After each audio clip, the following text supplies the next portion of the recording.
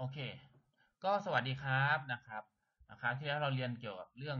ช่อง property ไปแล้วนะครับ ก็เดี๋ยวคลิปนี้นะครับก็จะมาเสริมเกี่ยวกับ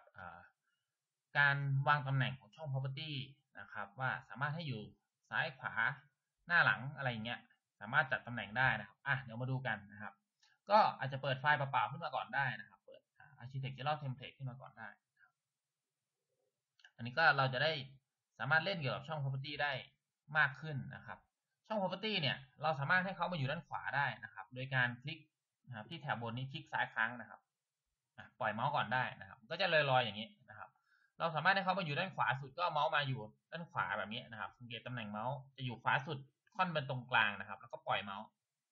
เห็นไหมครับ ช่อง property ก็จะอยู่ด้านซ้ายด้านขวาละโปรเจกต์บราว์เซอร์ก็อยู่ด้านขวาได้นไหมฮะลองพยายามมาหัดทำนะครับ โอเค นอกจากนี้ยังสามารถปรับรูปแบบได้อีกแบบหนึ่งนะครับ ก็คือ เอามาซ้อนกันได้นะครับ เอาสมมติเราช่อง property มาซ้อนกับช่อง project browser นะครับ นี่สังเกตตำแหน่งเมาส์นะครับ สังเกตอ่าตัว